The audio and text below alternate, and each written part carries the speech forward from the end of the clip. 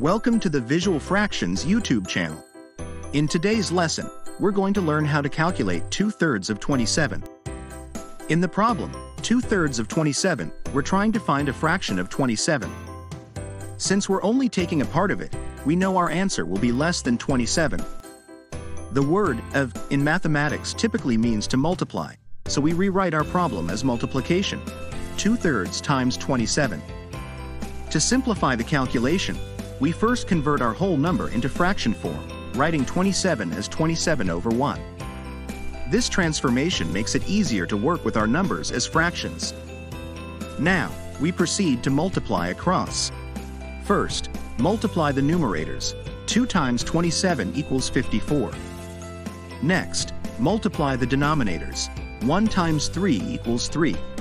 We now have a new fraction, 54 thirds. To find the final answer, divide the numerator by the denominator. So, 54 divided by 3 equals 18. And there you have it. 2 thirds of 27 is 18. If you found this tutorial helpful, go ahead and smash that like button and don't forget to subscribe to Visual Fractions. Thanks for watching.